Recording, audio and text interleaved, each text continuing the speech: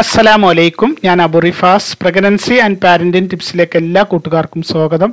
Channel subscribe ചെയ്യാനും നിങ്ങളുടെ കൂട്ടുകാരിലേക്ക് share ചെയ്യാനും എല്ലാവരോടും അഭ്യർത്ഥിക്കുന്നു. സെർവിക്സ് അഥവാ ഗർഭാശയമുഖം അല്ലെങ്കിൽ ഗർഭാശയഗളം എന്നൊക്കെ നിങ്ങൾക്ക് അറിയുന്നത് തന്നെ ആയിരിക്കുമല്ലോ.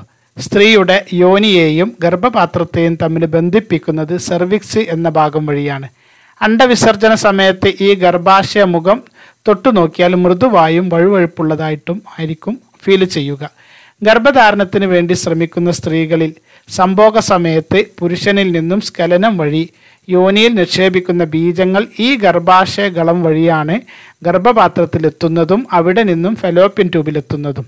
എന്നാൽ ഇങ്ങനെ ബീജങ്ങൾക്ക് ഗർഭപാത്രത്തിലേക്ക് കടക്കാൻ കഴിയാത്ത ഒരവസ്ഥ ഈ സർവീക്സിലുണ്ടായാലോ അതായത് എന്തെങ്കിലും കാരണങ്ങൾ കൊണ്ട് ഗർഭപാത്രത്തിലേക്കുള്ള ഈ വാതിൽ അഥവാ ഗർഭാശയമുഖം അടഞ്ഞു തന്നെയാണ് ഉള്ളതെങ്കിൽ ഗർഭധാരണം തന്നെ നടക്കാതെ വരുന്നു. ഈ അവസ്ഥയെയാണ് ക്ലോസ്ഡ് സർവിക്സ് അഥവാ സെർവിക്കൽ സ്റ്റെനോസിസ് എന്ന് പറയുന്നത്. ലൈംഗിക സമയത്ത് ഗർഭാശയകളം വേണ്ടത്ര ഓപ്പൺ ആയിട്ടില്ല എങ്കിൽ ബീജങ്ങൾക്ക് ഗർഭപാത്രത്തിലേക്ക് പ്രവേശിക്കാൻ തടസ്സമുണ്ടാകുന്നു. ഇത് വന്ധ്യതക്കും കാരണമാകുന്നു. ഇത് സ്ത്രീകളിൽ സംഭവിക്കുന്ന ഒരു പ്രശ്നമാണ്. സെർവിക്സ് അടഞ്ഞിരിക്കുക വളരെ നേരിയ രൂപത്തിൽ മാത്രം തുറന്നിരിക്കുക ഇത് രണ്ടും ബീജസഞ്ചാരത്തിന് തടസ്സമുണ്ടാക്കുന്നു. ഏകദേശം ത്രികോണാകൃതിയിലുള്ള ഗർഭപാത്രത്തിന്റെ താഴെ കോണിൽ നിന്നും ഒരു നേർത്ത കുഴൽ പോലെ യോനിയിലേക്ക് തുറക്കുന്ന ഈ കനാൽ നിങ്ങളിൽ ആർത്തവം ഗർഭധാരണം പ്രസവം എന്നിങ്ങനെയുള്ള ഘട്ടങ്ങളിലൊക്കെ അതിന്റെതായ ഡ്യൂട്ടി നിർവഹിക്കുന്നുണ്ട്. ആർത്തവ സമയത്ത് എൻഡോമെട്രിയൽ ടിഷ്യൂകളെയും രക്തത്തെയും പുറത്തേക്ക് പോകുന്നു. ലൈംഗിക സമയത്ത് ശുക്ലം അല്ലെങ്കിൽ ബീജങ്ങൾ യോനിയിൽ നിന്നും പ്രത്യുൽപാദന സംവിധാനത്തിലേക്ക് സഞ്ചരിക്കുന്നു. കൂടാതെ ഗർഭപാത്രത്തിലേക്ക് അണുബാധകൾ ഉണ്ടാകാതിരിക്കാനുള്ള പ്രതിരോധ മാർഗം കൂടിയാണ് ഗർഭാശയകളം അണ്ടവിസർജന സമയം അഥവാ ഓവുലേഷൻ സമയത്ത് ഇവിടെ സെർവിക്കൽ മ്യൂക്കസ് എന്ന സ്രവമുണ്ടാകുന്നു. അത് ബീജങ്ങൾക്ക് ഗർഭപാത്രത്തിലേക്ക് എളുപ്പം സഞ്ചരിക്കാനുള്ള മീഡിയമായി വർക്ക് ചെയ്യുന്നു. ഗർഭമായി കഴിഞ്ഞാൽ സെർവിക്സ് ഒരു മ്യൂക്കസ് പ്ലഗ് സൃഷ്ടിക്കുകയും ഗർഭത്തിലുള്ള കുഞ്ഞിനെ സംരക്ഷിക്കുകയും ചെയ്യുന്നു. ഇതൊക്കെയാണ് ഗർഭാശയഗളത്തിന്റെ പ്രധാന ധർമ്മങ്ങൾ ക്ലോസ്ഡ് സർവിക്സ് അഥവാ സെർവിക്കൽ സ്റ്റെനോസിസ് നിങ്ങളുടെ ഗർഭധാരണത്തിൽ അല്ലെങ്കിൽ നിങ്ങളുടെ പ്രത്യുൽപാദന കഴിവിനെ എങ്ങനെ ദോഷകരമായി ബാധിക്കുന്നു എന്നത് നോക്കാം. ഒരു പ്രശ്നം നമ്മൾ പറഞ്ഞ ശുക്ലത്തിന് അല്ലെങ്കിൽ ബീജങ്ങൾക്ക് ഗർഭപാത്രത്തിൽ എത്താൻ കഴിയുന്നില്ല എന്നതാണ്. ബന്ധപ്പെട്ട ശേഷം ഉടനെ തന്നെ ശുക്ലം പൂർണമായും പുറത്തേക്ക് ഒഴുകുന്നതിനും ഇത് കാരണമാകും. മറ്റൊരു പ്രശ്നം ആർത്തവ രക്തത്തെ ശരിയായ രീതിയിൽ പുറത്തേക്ക് ഒഴുകുന്നത് ഇത് തടസ്സമുണ്ടാക്കുന്നു. ഇത് ഗർഭപാത്രത്തിൽ രക്തം നിൽക്കുകയും വേദനയും മറ്റു ബുദ്ധിമുട്ടുകളും ഉണ്ടാക്കുന്നു. ഹെമറ്റോമെട്ര എന്നാണ് ഈ അവസ്ഥയെ പറയുക. ഡോക്ടറെ കാണുകയും ചികിത്സ തേടേണ്ടതുമായ ഒരു പ്രശ്നമാണിത്. സെർവിക്കൽ സ്റ്റെനോസിസ് മൂലം സെർവിക്കൽ മ്യൂക്കസ് ഉൽപാദനത്തിലും പ്രശ്നങ്ങൾ ഉണ്ടാകുന്നു ഇത് ബീജസഞ്ചാരത്തെ ബാധിക്കുന്നു. ലൈംഗിക സമയത്ത് വജൈന ഡ്രൈ ആയിരിക്കാനും ഇത് കാരണമാകുന്നു. ഐ വി എഫ് സമയത്ത് embryo transfer I U I സമയത്ത് ബീജനിക്ഷേപം എന്നിവ സെർവിക്കൽ സ്റ്റെനോസിസ് മൂലം കോംപ്ലിക്കേറ്റഡായി മാറാം. അങ്ങനെ ഉണ്ടാകുമ്പോൾ സെർവിക്സിൽ ഉണ്ടാകുന്ന തടസ്സങ്ങൾ ഒഴിവാക്കിയാൽ മാത്രമേ പ്രൊസീജിയർ ശരിയായ രീതിയിൽ നടക്കുകയുള്ളൂ. ക്ലോസ്ഡ് സർവിക്സിന്റെ കാരണങ്ങൾ പലതാണ്. ജന്മനാ ഉള്ള തകരാറുകൾ അതായത് അടഞ്ഞതോ ഇടുങ്ങിയതോ ആയ സർവിക്സോട് കൂടി ഒരു കുട്ടി ജനിക്കാം. സർവിക്സ് ഭാഗത്തുണ്ടാകുന്ന അസുഖങ്ങൾ ഫൈബ്രോയിഡ് എൻഡോമെട്രിയോസിസ് പോലെയുള്ളവയും ഗർഭാശയകളത്തിൽ തടസ്സങ്ങളുണ്ടാക്കാൻ കാരണമാണ്. ആർത്തവ വിരാമം മൂലവും സെർവിക്സ് അടഞ്ഞു പോകുന്നു. ഇതിനൊക്കെ പുറമെ അണുബാധകൾ മൂലമുണ്ടാകുന്ന ഇൻഫെക്ഷൻ മൂലമുണ്ടാകുന്ന വെള്ളപ്പൊക്ക് ദീർഘകാലം നിലനിന്നാൽ അത് ഗർഭാശയഗളത്തിൽ നീരുണ്ടാക്കുകയും അവിടെയുള്ള കോശങ്ങൾക്ക് തകരാറുകൾ വരികയും ചെയ്യും. നേരത്തെ പറഞ്ഞ പ്രശ്നങ്ങളൊക്കെ ഉണ്ടാകുമ്പോൾ ഡോക്ടറെ കണ്ട് പരിശോധന നടത്തി ഈ പ്രശ്നമുണ്ടോ എന്ന് മനസ്സിലാക്കുകയും ആവശ്യം വേണ്ട ചികിത്സ തേടുകയും വേണം. വന്ധ്യതയാണ് ഇതിന്റെ പ്രധാന പ്രശ്നങ്ങളിലൊന്ന്. അബ്നോർമലായ മെൻസസ് ബ്ലീഡിങ് സർവിക്സിൽ ഉണ്ടാകുന്ന പ്രശ്നങ്ങൾ കൊണ്ടുകൂടിയാണ്.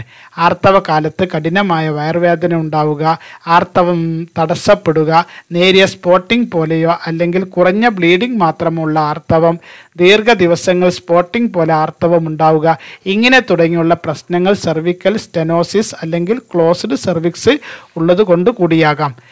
ഇതിന് എന്തെല്ലാം പരിഹാര മാർഗങ്ങൾ എന്ന് ചിന്തിക്കുമ്പോൾ രോഗിയുടെ രോഗലക്ഷണങ്ങൾ രോഗിയുടെ പ്രായം എന്നിവയൊക്കെ നോക്കിയാണ് ഡോക്ടർമാർ ചികിത്സ നിർണയിക്കുന്നത് ഗർഭധാരണത്തിന് ശ്രമിക്കുന്ന ഒരു പ്രായമാണെങ്കിൽ ചികിത്സ വേണമല്ലോ. എന്നാൽ കുട്ടികളൊക്കെ ഉള്ള ആർത്തവം സ്റ്റോപ്പായ ഒരു സ്ത്രീയെ സംബന്ധിച്ച് ചികിത്സകളിലേക്ക് പോകുന്നത് അതുമായി ബന്ധപ്പെട്ട് അവർക്കുള്ള ബുദ്ധിമുട്ടുകൾ കൂടി പരിഗണിച്ചാണ്. അതുകൊണ്ട് തന്നെ ഒരു ഡോക്ടറെ കണ്ട് വേണ്ട പരിശോധനകളൊക്കെ നടത്തി പരിഹാര മാർഗങ്ങൾ തേടുകയാണ് ഏറ്റവും പ്രധാനം. സാധാരണ നിലയ്ക്ക് ഇടുങ്ങിയ ഗർഭാശയകളം ആണെങ്കിൽ ഡിലേറ്റർ എന്ന ഒരു ഉപകരണം ഗർഭാശയ ഗളത്തിൽ തിരുകി വെച്ച് സർവിക്സിന്റെ വലിപ്പം കൂട്ടിക്കൊണ്ടുവരുന്നുണ്ട്. ആദ്യം ചെറിയ സൈസിലുള്ള ഡിലേറ്റർ ഇൻസേർട്ട് ചെയ്യുകയും പിന്നെ അതിന്റെ സൈസ് മാറ്റി മാറ്റി സർവിക്സ് ദൂരം കൂടുതൽ വലുതാക്കിക്കൊണ്ട് വരികയാണ് ചെയ്യുന്നത്. ചില കേസുകളിൽ സർജറിയും ചെയ്യുന്നു. മറ്റു കാരണങ്ങൾ കൊണ്ട് സർവിക്സ് ദ്വാരം അടഞ്ഞു പോകുന്നത് പരിഹരിക്കാൻ ഒന്നാമതായി നമ്മുടെ ജീവിതശൈലി ഭക്ഷണ രീതികൾ മികച്ചതായിരിക്കുക എന്നതാണ് പ്രധാനം. കഴിക്കുന്ന ഭക്ഷണം ആരോഗ്യകരമായിരിക്കാൻ ശ്രദ്ധിക്കണം. പച്ചക്കറികളും ധാന്യങ്ങളും പഴവർഗങ്ങളും കൂടുതൽ കഴിക്കുകയും കൊഴുപ്പടങ്ങിയ ഭക്ഷണങ്ങൾ ഒഴിവാക്കുകയും വേണം. അണുബാധകൾ പോലെയുള്ള അവസ്ഥകൾ വരാതെ നോക്കുക. വെള്ളപ്പോക്ക് ആർത്തവ പ്രശ്നങ്ങൾ ഇൻഫെക്ഷൻ പോലെയുള്ള പ്രശ്നങ്ങൾ ഉണ്ടാകുമ്പോൾ അതിനെ നിസ്സാരമായി കാണാതിരിക്കുക. ഹോർമോൺ അസന്തുലിതാവസ്ഥ വരാതെ നോക്കുക എന്നതും പ്രധാനമാണ്.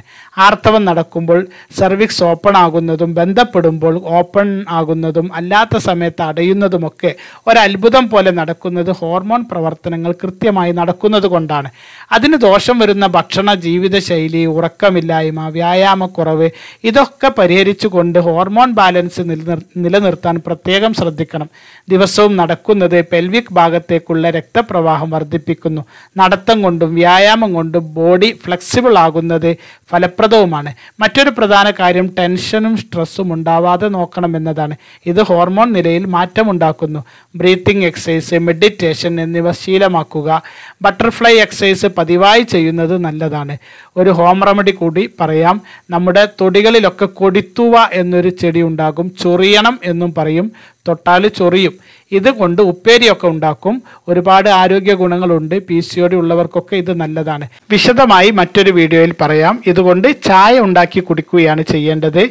നെറ്റൽ ലീഫ് പൗഡർ ഓൺലൈനായും വാങ്ങാൻ കിട്ടും. അതിനു പുറമെ അയമോദകവും ജീരകവും കൂടി വെള്ളം തിളപ്പിച്ച് പതിവായി ഓരോ ഗ്ലാസ് വെള്ളവും കുടിക്കുക. ശരീരഭാരം കൂടാതെ ശ്ര- സർവിക്സ് ഗർഭിണിയാകാൻ വേണ്ടി മാത്രമല്ല സെക്സ് ജീവിതത്തിലും ഗർഭധാരണം നടന്നാലും ഒക്കെ വളരെ പ്രധാനമാണ്. സെർവിക്സ് ബലത്തോടെ നിൽക്കേണ്ടത് ഗർഭപാത്രത്തിലുള്ള കുഞ്ഞിന്റെ ആരോഗ്യത്തിനും പ്രധാനമാണ്. മാസം തികയാതെയുള്ള പ്രസവത്തെ തടയുന്നതിനും ശരിയായ സമയത്ത് കുഞ്ഞിനെ അമ്മയുടെ ശരീരത്തിൽ നിന്നും പുറത്തേക്ക് എത്തിക്കുന്നതിലും സർവിക്സിന് കാര്യമായ റോളുണ്ട്. ബലക്കുറവുണ്ടായാൽ സ്റ്റിച്ചിട്ട് ഗർഭം നിലനിർത്തേണ്ട സാഹചര്യമുണ്ടാകും. അതുകൊണ്ട് തന്നെ നമ്മുടെ ശരീരത്തിലെ മറ്റ് അവയവങ്ങളെ പരിപാലിക്കുന്നത് പോലെ തന്നെ സ്വകാര്യ അവയവങ്ങളുടെ ആരോഗ്യത്തിനും പ്രാധാന്യം നൽകണം. കൂടുതൽ വിശേഷങ്ങളുമായി മറ്റൊരു വീഡിയോയിൽ വരാം. എല്ലാവർക്കും നല്ലൊരു ദിവസം നേർന്നുകൊണ്ട് നിർത്തുന്നു. അസ്സലാമു അലൈക്കും വറഹ്മത്തുള്ളാഹി വബറകാതുഹു